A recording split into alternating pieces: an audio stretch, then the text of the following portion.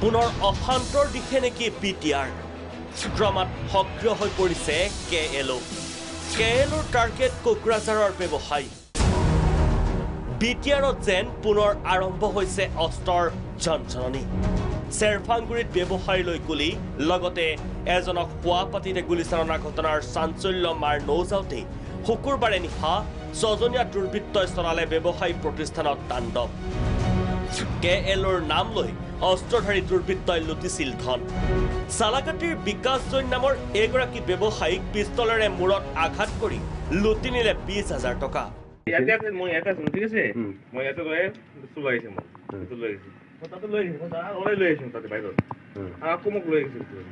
মানে ভিতৰত তিনিজন থাকিছে? ঘৰত তিনিজন? ইতিমধ্যে এই ঘটনাৰে জড়িত সন্দেহত আৰক্ষীয়ে আটক কৰিছে পাঁচজনকৈ লোকক।